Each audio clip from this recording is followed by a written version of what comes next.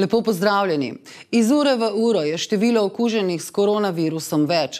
V Lombardiji je število narastlo na 172, v Ebili Romani na 17. V Lyonu v Franciji pa so ustavili italijanski avtobus in turistom preprečili nadaljno vožnjo. Zaradi širjenja okužb s koronavirusom v sosednji Italiji so se v Novi Gorici danes na pobudo župana Klemna Miklaviča sestali predstavniki zdravstvenega doma Nova Gorica, bolnišnice, območne enote nacionalnega inštituta inštituta za javno zdravje in mestne občine, da bi pregledali pripravljenost na Goriškem. Nova Gorica je prepletena z Gorico v eno mesto, nujno je potrebno sprejeti in uskladiti ukrepe takoj. Od jutri dalje upajmo, da potem navadnem ponedeljku ni prepozno, so se odzvali v lokalnem odboru Slovenske demokratske stranke. Nova Gorica je še posebej izpostavljeno nevarno območje za vzpostavitev koronavirusa, predvsem zaradi izbruha v bližnjih italijanskih deželah, Furlani, Julijski krajini in Benečiji. Novogoriški župan Klemen Miklavič je danes sklical tudi sestanek s predstavniki zdravstvenih ustanov, šol, otroških vrtcev, igralnic, bencinskih servisov in trgovinskih centrov zaradi pojava koronavirusa. Zaradi možnosti širjanja virusa v Slovenijo so v novogoriških igralnicah že pripravili prve ukrepe. Tako so v igralnicah pripravili dozirnike za razkuževanje rok, Vidno bolne obiskovalce pa so začeli prijazno odslavljati. Ob morebitnem širjenju virusa, virusa bodo zmanjšali in razmišljali o še dodatnih ukrepih oziroma o možnosti zaprtja igralnic. Jaz bom potem, ko bo državni načrt aktiviran, potem je pa moje, bom rekel, delo drugače. Zdaj se vodi vse ministrstvo za zdravje še zveraj, pa koordinacijska skupina medresorska. Mi imamo načrt zaščite in reševanja, ki ni skrivnost za nalezljive bolezni, ki je na spletni strani, Notor so vse naloge, vse je noter, ampak pride v poštev, ko se razglasi pandemijo ali pa e epidemijo. Pa so vam kaj rekli, da bodite v pripravljenosti? Ja, sej smo, mi smo zmeri v pripravljenosti. No, maske so učinkovite od stopnje 2 naprej. FFP2 pa FFP3, to so maske, ki so za zunanjo uporabo. Tiste, ki pa vidite, ki nosijo recimo zdravstveno osebje, pa za notranjo uporabo. Bomo pa to, sem prepričan, tudi v to nosili vse splošno vsi po ulicah. Če bo kakšna območja bolj bom rekel, ogrožena ali kaj takega, potem seveda ja, drugače pa ni to, eh, bom rekel, rešitev. Uh, in ja, slovenska vojska ima tudi določene zmogljivosti, kolikor se izkaže, da bi bilo potrebno podpreti tiste, ki običajno Eh, poskrbijo za take zadeve v državi. Hvala lepa. Problemov kot je koronavirus, vidimo, kaj se po svetu dogaja, um, koliko je okuženih, koliko je smrtnih žrtev in kako to hitro prihaja v bistvu iz Kitajske, uh, tudi že na naše meje, uh, bi morali seveda um, obrambni minister v odstopu Erjavec. Čeprav je iz užaljenosti izginil iz javnega prostora, se ne mudoma javiti na svojem delovnem mestu. Enako velja za ministra Šabedra, ki je tudi podal, kot vemo, nekaj tednov nazaj, eh, Bjanko odstopno izjavo. Eh, v času prihajajoče epidemije oziroma grozeče epidemije, seveda sta ministr za obrambo in ministr za zdravje eh, glavna. Policijska letalska enota je danes na Brniku uradno prevzela nov helikopter, ki ga bo uporabljala za izvajanje vseh policijskih nalog. Zbrane na slavnostni primo predaji so nagovorili generalna direktorica policije Tatjana Bobrar ter notranji minister in premije, ki upravljata tekoče posle Boštjan Poklukar in Marjan Šarec. Največja razlika je v tehnologiji, v samem razvoju helikopterjev, Naši predhodni helikopterji so stari 40 let, se pravi, tudi tehnologija je temu primerno stara. Ta helikopter je bil že začet eh, z javnim naročilom leta 2018. Jaz sem podpisal potem javno naročilo, generalna direktorica pogodbo in helikopter je danes tukaj.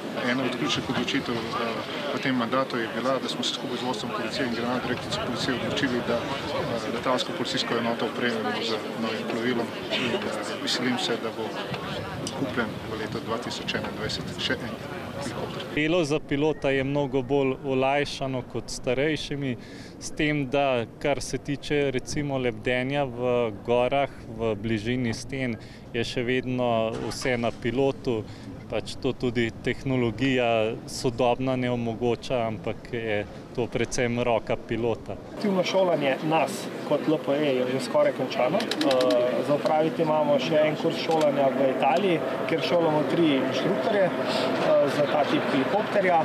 Potem pa sledi usposabljanje policijskih enot, specialne enote, gorske enote, vseh, ki sodelujejo s tem helikopterjem. Eh, zelo je pomembno zaradi varnosti, da se vsi seznanijo, kako helikopter deluje, kakšne so posebnosti. Na nas se je obrnil gledalec, ki se je pozanimal, ali pri podjetju 3M, glavnim distributerjem zaščitnih mask v Sloveniji, lahko dobi zaščitno masko respirator 3M, edino dovolj dobro za zaščito pred nalezljivim koronavirusom. Odgovor je naravnost alarmanten, saj je popolnoma zmanjkalo vseh zaščitnih mask, nova pošiljka pa bo prišla komaj v 14 dneh. Prav tako so z izgovorom, da maske ne nudijo zaščite o stanju številčnosti mask, izogibajo na Ministrstvu za zdravje. Spomnimo, da je vlada 14. februarja na Kitajsko poslala milijon 200 tisoč zaščitnih mask. Vlada Marjana Šarca v odstopu pa nima pojma, kako sploh reagirati, niti še nismo prejeli informacij, koliko zaščitnih mask lahko sploh imamo na zalogi pred smrtonosnim koronavirusom. Namesto, da bi zalogo zaščitnih mask ob izbruhu pandemije zadržali v Sloveniji, so kot kaže vseh milijon 200 tisoč zaščitnih mask poslali na Kitajsko. Celski okrožni sodnik Marko Brišnik je nekdani direktorici Vegrada Hildi Tovšak, ki je priznala kaznivo dejanje povezano z oškodovanjem gradbenega podjetja Vegrad, danes izrekel enotno pogojno kazen štirih let in petih mesecev zapora s preizkusno dobo osmih let. Prvo obdolženi v tej zadevi Matej Košič pa krivde na predobravnavnem naroku ni priznal. Sodnik je sicer sledil zahtevi tožilca Jožeta Levašiča, Tošiča, ki je predlagal, da Tovšakovo za kaznivo dejanje zlorabe položaja obsodi na pogojno kazen šestih mesecev zapora s preizkusno dobo pet let. Ker pa je bila Tovšakova leta 2017 zaradi dveh kaznivih dejanj poslovne goljufije že obsojena na štiriletno pogojno zaporno kazen s preizkusno dobo osmih let, je danes izrekel omenjeno enotno kazen.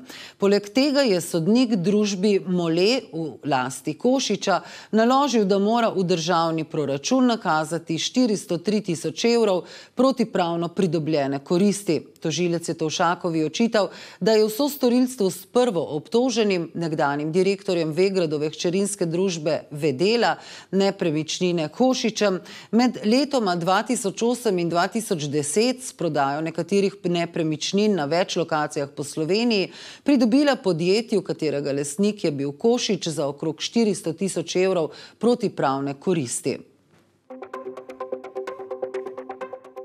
Makedonski poslanec iz vrst stranke VMRO DPMNE Antonijo Milošovski je v nedeljo objavil nove zvočne posnetke, na katerih je slišati nekdanjega skorumpiranega in osramočenega predsednika vlade Zorana Zajeva. Zvočni posnetki razkrivajo, da je Zajev popolnoma obvladoval odločitve vrhovnega sodišča in nekdanje posebne tožilke Katice Janeve, ki se trenutno nahaja v priporu. Med drugim je slišati, kako se dogovarjajo, da bodo zavrgli določitev določene primere, pogovarjali pa so se tudi o pobegih poslovneža Sejada Kočana in nekdanjega predsednika vlade Nikole Grujevskega pred političnim pregonom. Pri tem velja omeniti tudi vlogo levičarske evropske poslanke Tanje Fajon, ki je dolgoletna dobra prijateljica Zajeva, ob strani pa mu stoji tudi zadnje mesece, ko o njem na dan prihajajo umazane podrobnosti. Med drugim se je 9. februarja letos udeležila konference v Skopju, kjer je strašila pred nacionalizmom in populizmom ter zagovarjala integracijo Evropske unije s progresivnimi politikami, kakor danes opisujejo socializem. Prav tako se v parlam Evropskem parlamentu sramoti s problematiziranjem medijev v Sloveniji in Makedoniji, katerih lastniki so zasebna mačarska podjetja. V zvezi s tem je Evropski komisiji zastavila ustno poslansko vprašanje, v katerem se sklicuje kar na poročanje portala necenzurirano.si.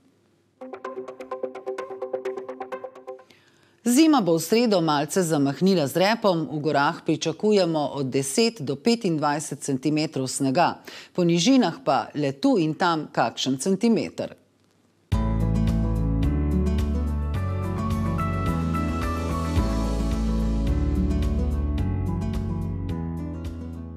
Popovdne bo zmerno do pretežno oblačno, nekaj več sonca bo na primorskem. Po noči se bo delno razjasnilo, po kotlinah severne in osrednje Slovenije bo nastalo nekaj megle. Jutri se bo od zahoda spet pooblačilo, le v vzhodnih krajih bo večji del dneva še deloma jasno. Ponekod na primorskem in notrenskem bo občasno rosilo ali rahlo deževalo. V sredo bo oblačno s padavinami, lahko bo tudi zagrmelo. Ohladilo se bo, meja sneženja se bo ob močnejših padavinah ponekod v notranjosti Slovenije lahko spustila do nižin. Zapihal bo severovzhodni veter, na primorskem proti večeru burja.